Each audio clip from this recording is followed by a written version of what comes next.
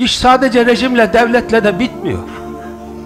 Nice küfür devletinde yaşar insan, adam gibi yaşar, İslam gibi yaşar.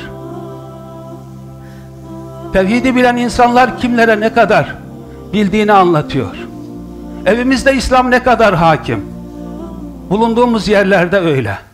İş yeri sahipleri, diğer iş yerlerinden ne kadar farkını var, farkı var iş yerlerinizin. Ezan okunuyor ve çalışanlarınız hep beraber cemaatle namaz mı kılıyor söz gelimi? Biraz iş, biraz da din diyebiliyor musunuz? Evet. Allah'ı hesaptan çıkarttık. Allahsız bir hayat yaşıyoruz. Bunun adına laiklik denilir. İsterse karşı çıkın laikliğe. Namaz, namaz kılarken tamam, o Allah'a ait.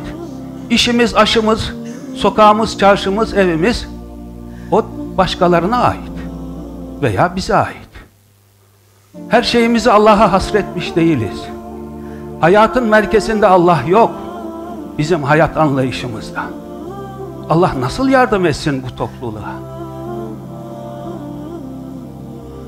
İşimizde, eşimizde, aşımızda her şeyimiz önce Allah'la bağlantılı olmalıydı. Rüyalarımıza, hayallerimize cennet bile ne kadar giriyor?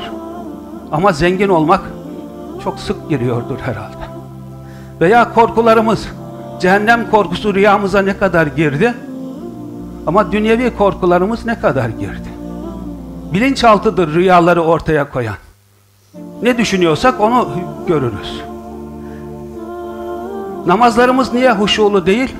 Çünkü hayatımız düzgün değil ki namazımız düzgün olsun. Bir insanın hayatı düzgün olmadan namazı da huşulu olmaz. Olmaz, mümkün değil bu. Hoş görün, biraz yumuşak ifadelerle söylemem gerekiyor. Biraz hastalığıma verin. Biraz kendi nefsime anlattığımı hesaba katın. Ama siz sertine, yumuşaklığına bakmayın. İşin doğru tarafı var mı, yok mu? Onu ele alın.